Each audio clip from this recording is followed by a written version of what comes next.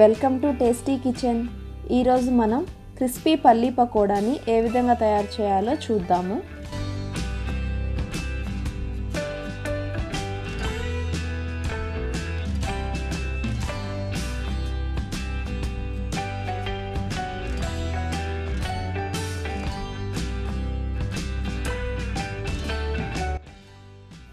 ఒక బౌల్ తీసుకొని అందులో మనం తీసుకున్న ఒక కప్పు పల్లీలని వేసుకోవాలి.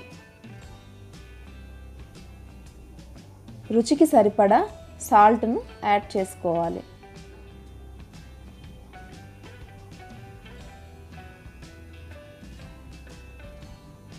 ఇప్పుడు శనగపిండి యాడ్ చేసుకుందాము. త్రీ టేబుల్ స్పూన్స్ శనగపిండి యాడ్ చేశాను.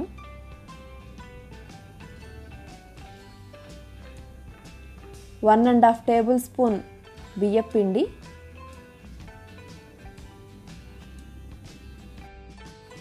ఒక టీ స్పూన్ అల్లం వెల్లుల్లి పేస్ట్ యాడ్ చేశాను. హాఫ్ టీ స్పూన్ జీలకర్ర పొడి హాఫ్ టీ స్పూన్ ధనియా పొడి half teaspoon garam masala. కొంచెం పసుపు one and half teaspoon కారము. యాడ్ చేసుకొని బాగా కలుపుకోవాలి. ఈ పౌడర్స్ అన్నీ పల్లీలకు బాగా పట్టే విధంగా కలుపుకోవాలి.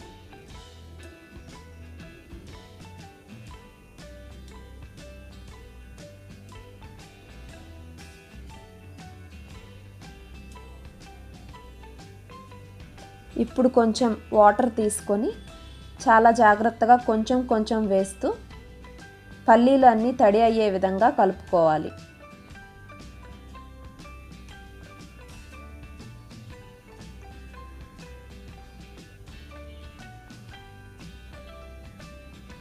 చూడండి పల్లీలు అన్నీ బాగా తడిగా అయ్యాయి. ఇప్పుడు మనకి పకోడీ వేసుకోవడానికి మిక్స్చర్ రెడీ అయింది. వీటిని ఇప్పుడు మనం పకోడీలా వేసుకుందాము.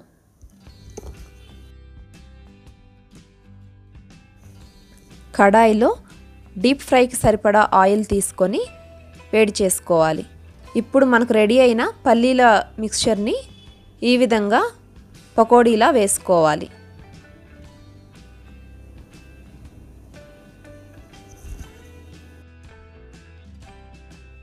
ఫ్లేమ్ని మనం మీడియంలోనే ఉంచాలి. లేదంటే పల్లీలు మాడిపోతాయి. మీడియం ఫ్లేమ్లో గోల్డెన్ కలర్ వచ్చే వరకు ఫ్రై చేసుకోవాలి.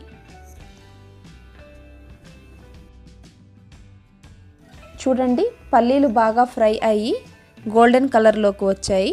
ఇప్పుడు వీటిని మనం సర్వింగ్ ప్లేట్లోకి తీసుకుందాము.